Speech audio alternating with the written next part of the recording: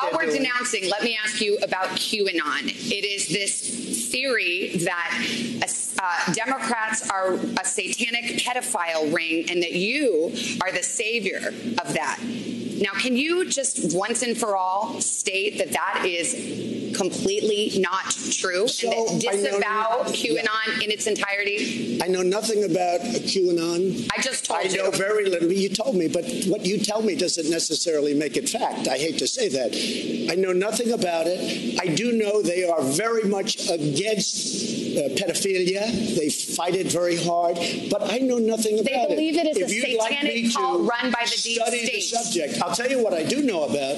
I know about Antifa, and I know about the radical left, and I know how violent they are and how vicious they are, and I know how they're burning down cities run by Democrats, not run by Republican Republicans. Senator Ben Sasse said, quote, QAnon is nuts and real leaders call conspiracy